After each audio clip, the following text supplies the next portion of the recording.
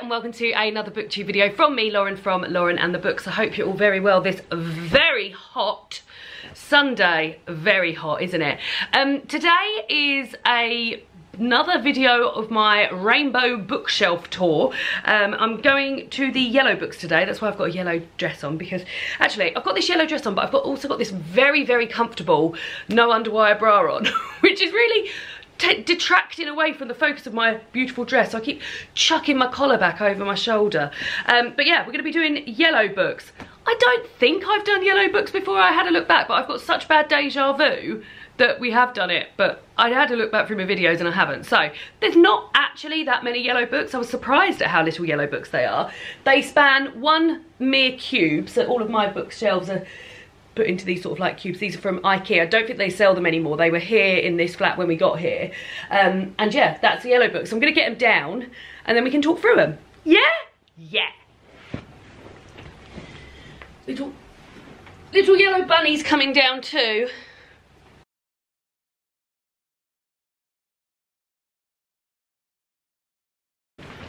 So yeah, that's it. There they all are. Um, not as many as I thought, but we'll work through them. They're piled, as you can see, beautifully next to me we'll work through what we've got. I quite like doing these videos, not only because it helps me pick sort of like books that I want to read quite soon, it also helps me maybe get rid of a few books that have been on my shelf for a while that are just there and I don't think I'm going to get to read them anymore.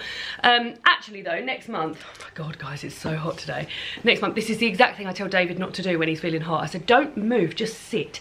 Um, next month, David is picking my TBR for me, so there's no point in me picking anything out here to go on my TBR for next month because David's picking my TBR, so yeah, let's have a look. Anyway, we'll start with I Hate Men by Pauline Harmange. This was sent to me by the publisher. It says here, the feminist book they tried, try, they tried to ban in France. So this is a, um, I also got sent a t-shirt and things with this, and a flag. And these will say, I hate men, and have like little quotes on the back. Having relationships with men isn't something we owe them. I've decided that my priority is to commit to being a genuine ally to the women I know. So yeah, it says here, women, especially feminists and lesbians, have long been accused of hating men. Our instinct is to deny it at all costs. After all, women have been less have been burnt at the stake for less. But what if mistrusting men, disliking men, and yes, maybe even hating them, is in fact a useful response to sexism? What if such a response offers a way out of oppression, a means of resistance? What if it even offers a path to joy, solidarity, and sisterhood? In this sparkling essay, as mischievous and provocative it is, as it is urgent and serious, Pauline Harmange interrogates modern attitudes to feminism and makes a rallying cry for women to find a greater love for each other and themselves. These postcards are actually much more effective than this uh, flappy book. But yeah, there we go, an essay, feminist essay, entitled I Hate Men. Now, I've also been sent this. I was sent this by the publisher as well. Fortune Favours the Dead by Stephen Spotswood. Um, I really, really love the front cover of this, but to be honest, I think this might be one that I get rid of because I don't think I'll ever get round to reading this. I've got new foundation on, by the way. I've been Instagram targeted for a new foundation maquillage I think it's called and they tell you to put it on and let it settle I feel like it's probably a little bit too dark for my face what do you think what do you think? I'm looking at myself in the camera and I'm not recognising myself, so there we go. So this is um, set in New York in 1946 and it follows Lillian Pentecost and Willow Jean Parker. They're the best private detectives in the city, but their latest case feels like an impossible crime. So it's, I don't know if I will get round to reading this, so I'm going to um, I'm going to, to, to, to, gift it away, to gift it away. So that's going, there we go, we've decided. Lovely front cover though. This is a book that every year I tell myself I'm going to read and I never get round to it. I don't know, I don't think I'm put off by the size of it, but every year I'm like, oh, I must get round to reading that. This came out in January last year, every year, two years, but like, I wanted to read this for, I did Pride and Prejudice last year, where I, in June I read Pride and Prejudice and um, a lot of retellings and this was one that I wanted to read. Uh, to read. This is The Other Bennett Sister by Janice Hadlow um, and this is um, Pride and Prejudice retold from Mary, the middle of the five Bennett sister and also the sort of the plainest one I guess if we were to reduce her down to one sort of word like the plainest sister um, told from her point of view um, and I've heard wonderful things about it. I think I might treat myself to this as like an autumn thing. I don't think I'm put off with it because of the size of it. It's over 500 pages, but yeah, for some reason I never get round to it. So yeah, this year I will get round to it in August. I just definitely will. Um, I've, then I've got a non-fiction book, Queer Intentions by Amelia Abraham, a personal journey through LGBTQ plus culture. Um, looking forward to reading this. Um, I love a non-fiction book about um, gender and queerness and things like that. So very much looking forward to reading that as well. Very yellow front cover, that one, isn't it? Very yellow indeed. That's going back on the old shelves. Then I've got Helen Lewis's Difficult Women, A History of Feminist, Feminism in 11 Fights. Um, this was sent to me by the publisher as well, very kindly with lovely, oh, more little front cover. Um, a, uh, a nice um, tote bag as well. So this is again is um, non-fiction. These books obviously haven't been off my shelf for a while. They're very fluffy, dusty. Uh, feminism's success is down to complicated, contradictory, imperfect women who fought each other as well as fighting for equal rights. Helen Lewis argues that too many of these pioneers have been whitewashed or forgotten in our modern search for feel-good, inspirational heroines. It's time to reclaim the history of feminism as a history of difficult women. That sounds very, very exciting. So yeah, I will get round to reading that as well soon. Um, and then I've got difficult women, promising young women. This is by Caroline O'Donoghue, and I bought this to read in the um, the Irish readathon that happened in, it happens every year in March.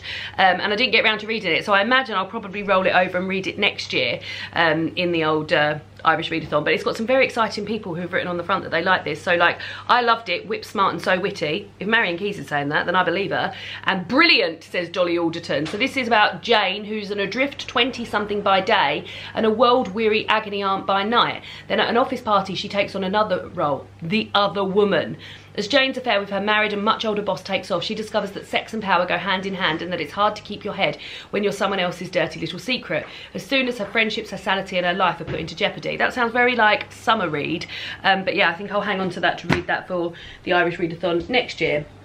Then I've got a proof of Kololo Hill by Neema Shah. Uh, this came out in February earlier this year and this is set in Uganda in 1972. I remember being very, very, very surprised that this didn't make it to the Women's Prize um, long list um, and therefore didn't make it to the short list. Um, it's, this is set um, so a devastating decree is issued. All Ugandan Asians must leave the country in 90 days. They must take only what they can carry, give up their money and never return.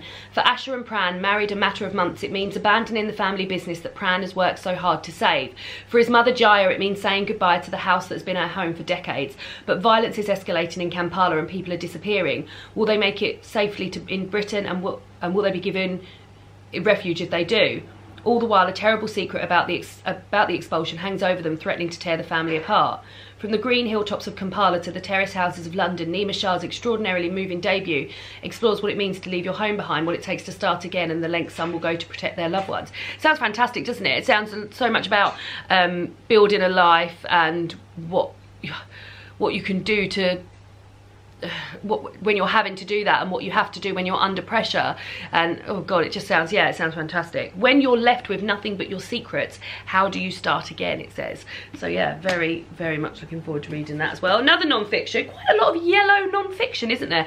Betraying big brother the feminist awakening in china. Verso were kind enough to send me a little package of books earlier this year um, with some um, with some non-fiction in and some short story collections. And they also sent me their um their uh, catalogue and said, was there anything I, I fancied in there? And I saw this and thought, yes, please. So this is called Betraying Big Brother, um, and the, it's the Feminist Awakening in China by Leta Hong Fincher.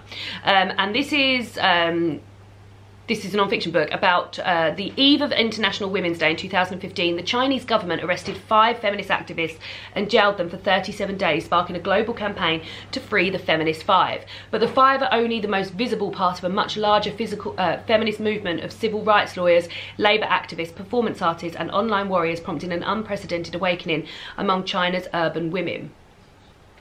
Sounds very exciting, doesn't it? Let me just check. David, did I close the window in the bedroom? Phew. Don't want that cat getting out, do we?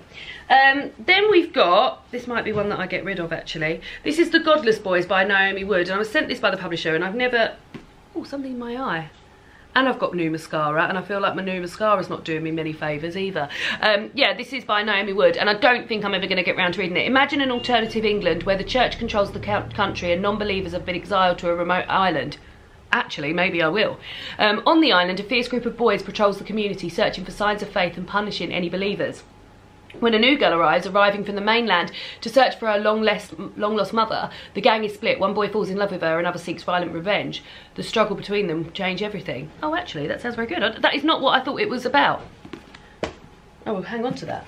Uh, another non-fiction book. This is a non-fiction book about Mary Shelley. In Search of Mary Shelley, the girl who wrote Frankenstein by Fiona Sampson. Um, and yeah, as you can imagine, this is a book about Frankenstein and Mary Shelley. I imagine it will have quite a bit in there about the old um, Mary Wollstonecraft as well.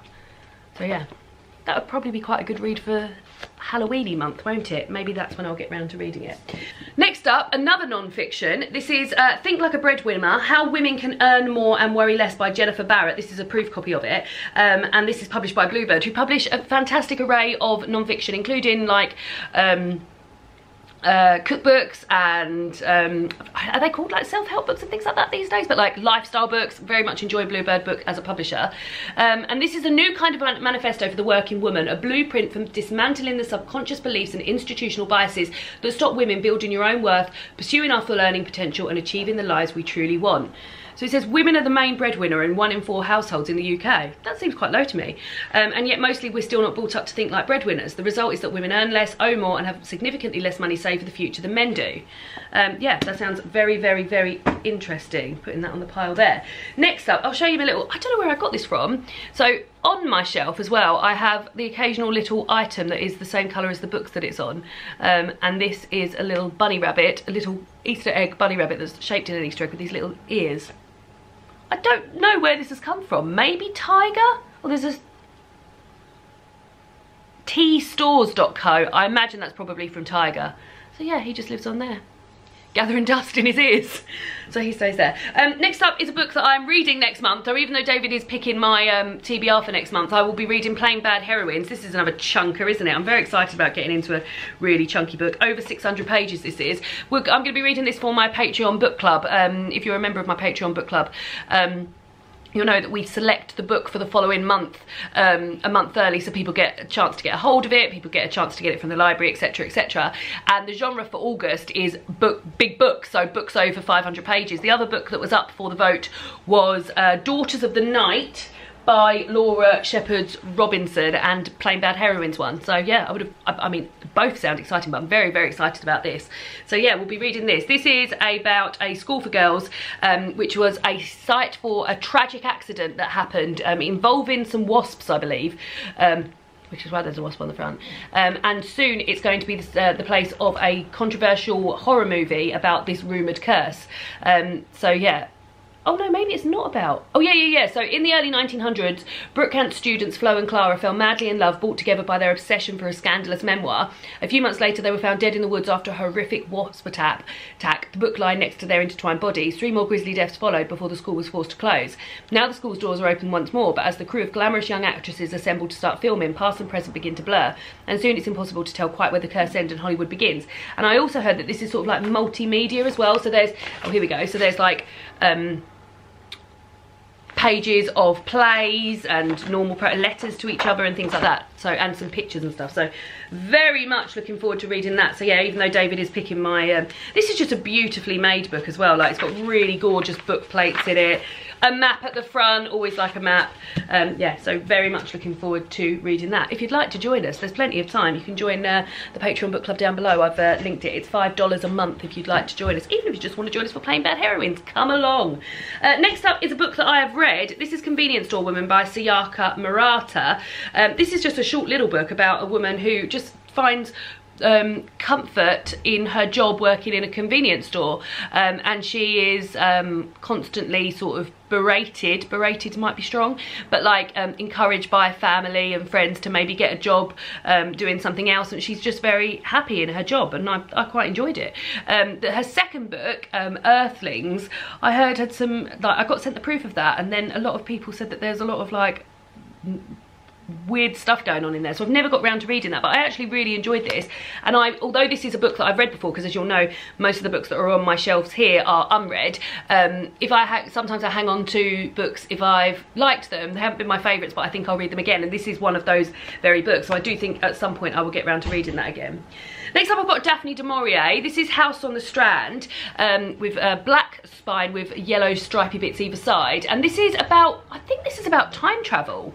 Um, I really like this front cover with all the little... Um, with all the the jars with different things in uh, whoever designed so these daphne du Mauriers are published by um Virago. They're the modern Virago modern classics, but all of the front covers are amazing. So this is about uh, Dick Young's friend, Professor Magnus Lane, offers him an escape from his troubles in the form of a new drug. Dick finds himself transported to 14th century Cornwall. There in the manor of Tywardreath, the domain of Sir Henry Champernowne, he witnesses intrigue, adultery and murder. The more time Dick spends consumed in the past, the more he withdraws from the modern world. With each dose of the drug, his body and mind become addicted to this other world and his attempt to change history, bring terror to the present and put his own life in jeopardy. That is unlike anything like that I ever thought Daphne du Maurier would ever write. So if you have read this, let me know how it holds up against other Daphne du Mauriers because you'll know I'm a big fan. Next up is The Tiger's Wife by Téa Obreht.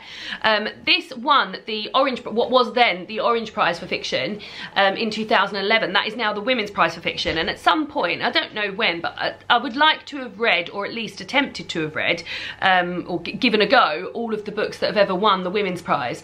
Um, so yeah, I, it's got here an Oxfam sticker on the back that says 1.99. I don't think that's where I bought it. I've got a feeling I bought it from the charity bookshop um, stand at work, which is 50p a paperback. So yeah, my grandfather never refers to the tiger's wife by name. His arm is around me and my feet are on the handrail. As my grandfather might say, I once knew a girl who loved tigers so much she almost became one herself. Because I am little and my love of tigers comes directly from him, I believe he is talking about me, offering me a fairy tale in which I can imagine myself and will for years and years. That sounds unusual. I'm not absolutely... Oh, this is a... It looks like this is a copy where people have made notes in it. Oh no, they've only made no Oh no, no, no, there's a few notes. Maybe somebody studied this. So interesting. I can't say I'm absolutely swept away by that um, uh, blurb, but we'll we'll we'll see. Uh, Bloody Brilliant Women by Cathy Newman. Uh, Cath, yes, Cathy Newman. This is a uh, non-fiction book. This is all the brilliant women you should have learnt about in school but didn't. I am sorry if that's uh, knocking door is annoying you. I don't know what David's doing. He's going. Oh, Minnie's trying to get out. Are you in and out, David?